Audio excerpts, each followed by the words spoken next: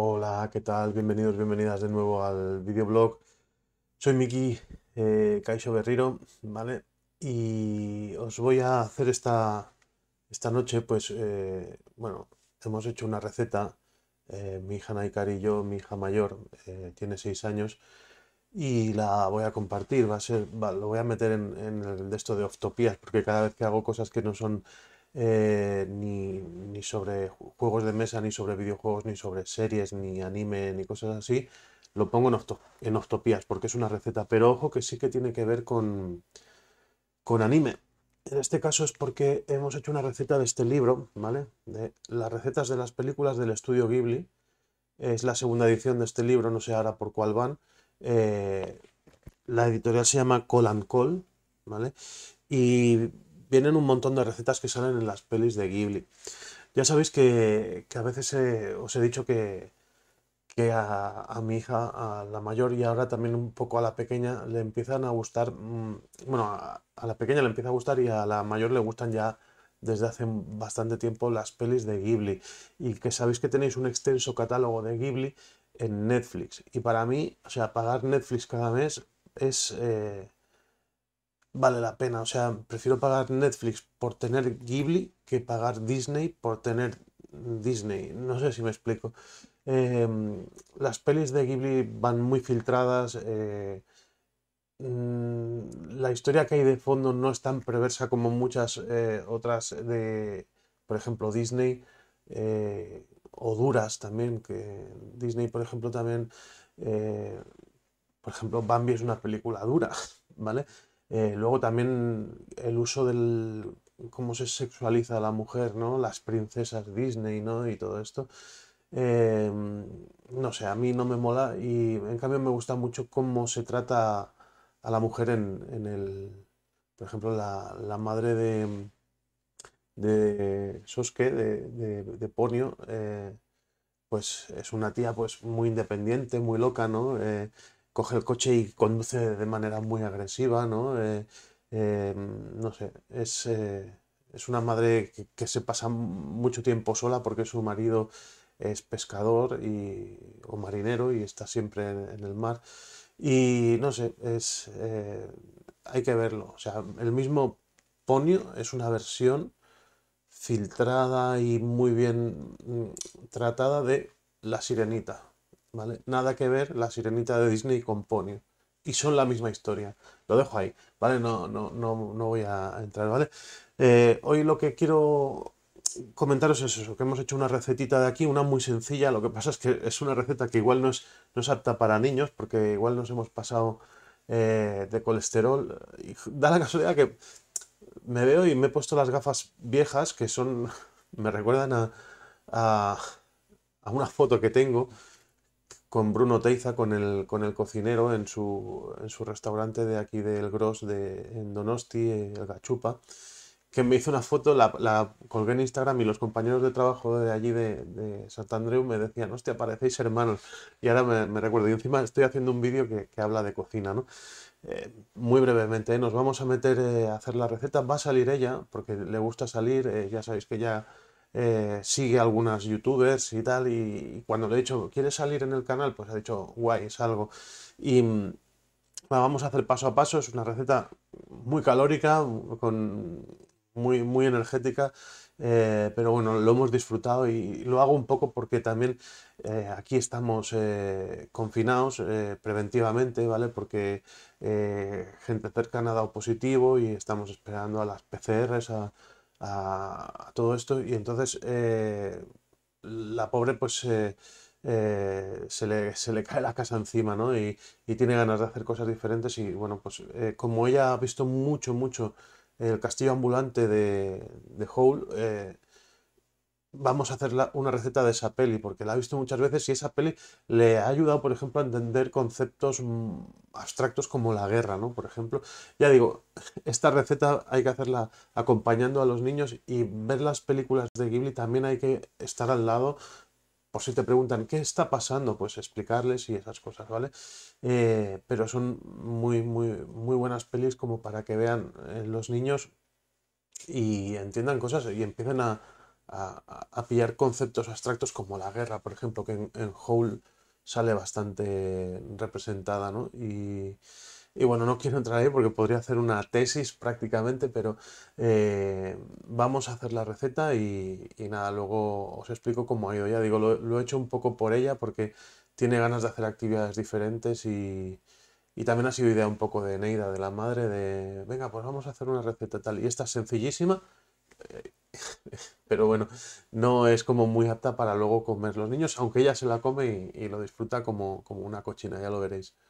Hago el corte y vamos a la cocina.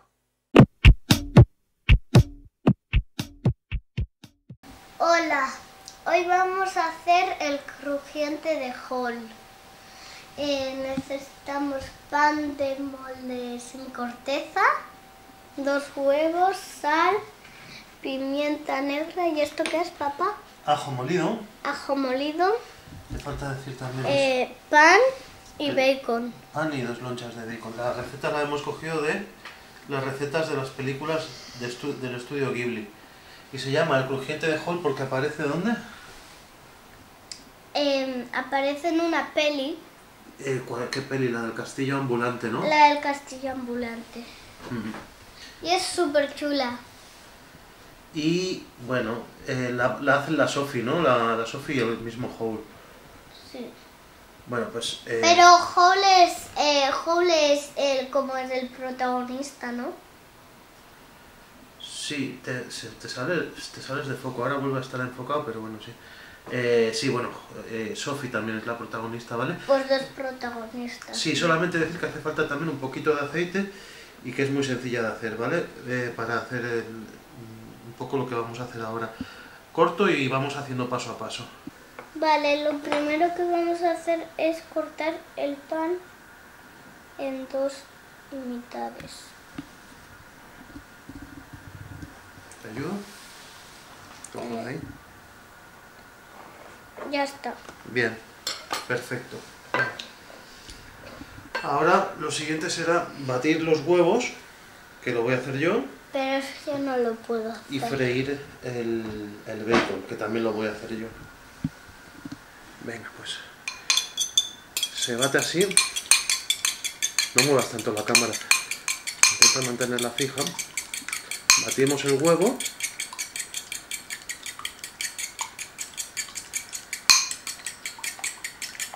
Vale, y cuando ya está bien batido, añadimos un poco de sal. Un poco de pimienta. Eso lo podía hacer yo, papá. Ya. Y también un poquito de ajo en polvo. Y para que se mezcle bien, lo bato un poco más. Esa es la idea. Vale. Vale, ponemos la sartén a calentar y lo que vamos a hacer es meterle las lonchas de bacon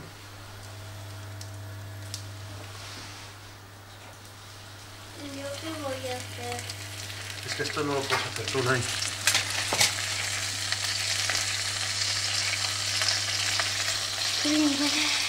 ¿Lo que Cuidado que puedes saltar, ¿eh?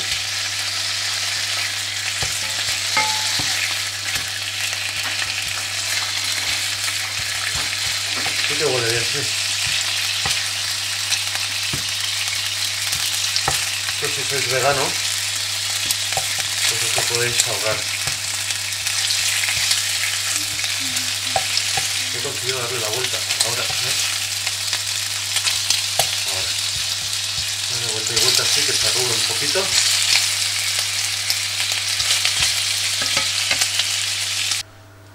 Ya hemos sacado las, las lonchas de bacon y en el mismo aceite calentito echamos el huevo batido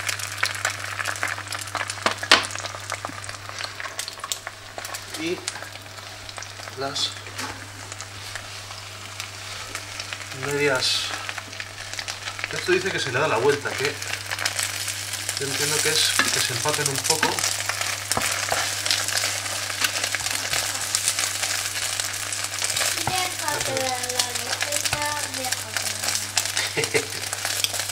Dale vuelta y vuelta. Porque creo que vamos mal, que vamos mal de tiempo. Epa, que se sale. Y esto se hace tortilla.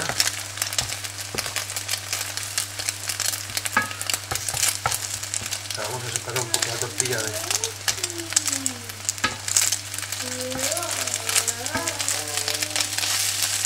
Ay, para de cantar que estoy haciendo esto. Y ahora se empana todo. Se saca, se, se escurre un poco y se empana. Pues ya hemos acabado. Lo está abriendo ahí Naikari. ¿Y qué quieres hacer? Comérmelo. Bueno, es muy, muy, muy calórico, ¿vale? Muy energético, como se puede ver. Y ha quedado un poco ahí el, el pan empanado por arriba con el huevo, un poco ya con costra crujiente y el bacon abajo y tal, y con el sabor un poco de las especias. Cogemos un cuchillo y le damos matarile. ¿Sí? Sí.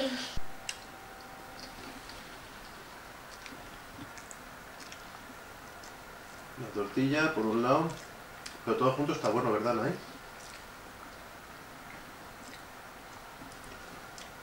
Esto le vamos a hacer la competencia al Chocas, que es un youtuber que come comida a domicilio, nosotros nos la hacemos nosotros.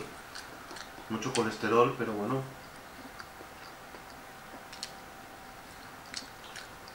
Bueno, de sabor y todo eso, no le has notado mucho el ajo ni la pimienta, ¿no? Vale, porque hemos puesto poquito. Bueno, ahora sí, despídete, que estás disfrutando. Adiós. Agur. Bueno, ya habéis visto cómo ha ido todo, ¿vale? Eh, es un, un desayuno prácticamente inglés, ¿vale? De, de huevos con bacon, ¿vale? Hecho de una manera diferente, hecho al estilo Ghibli. Y no os he hablado un poco del libro, ¿vale? Y, y os quiero hablar un poquito del libro porque está guay. El libro está bien.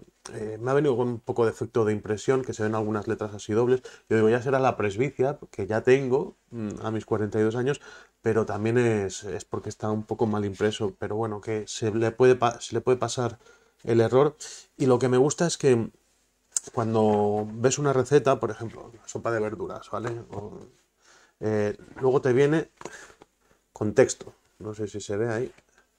¿Vale? Contexto. Luego ingredientes. Y luego cómo se hace. ¿Vale? He explicado paso a paso cómo se hace la receta. He puesto la sopa de verduras. eh, y mira, esta es la que hemos hecho nosotros, ¿vale? El crujiente de whole. Que sale el, el fotograma donde, donde se lo están comiendo. Es una receta que creo que, que le hace Howl, el mago, a Sophie. En los primeros días que entra dentro del castillo ambulante y, y cuando lo come Sophie dice, "Mm, hemos, hemos, por fin hemos eh, desayunado bien, ¿no?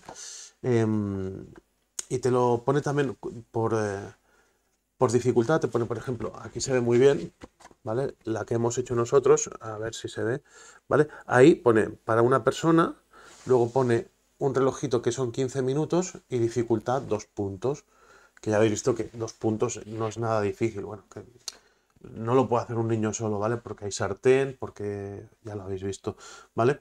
Eh, está guay, eh, a mí me gusta mucho porque empalma muy bien con las pelis y, por ejemplo, pues si, no sé, ahí, a ver si, si sale, claro, hay ramen, ¿vale? Os digo un poco lo que hay, ¿vale? El bento de Totoro, okayu, hamburguesa casera, ensalada de mar, sopa de verduras, el crujiente de whole que hemos hecho nosotros, onigiris de atún, langostinos en tempura, ramen, salteado de, cham- de champiñones y ave, estofado de ternera, espaguetis a la boloñesa con albóndigas, eh, ternera strogonoff, arroz blanco con mariscos, pastel de arenque con calabaza.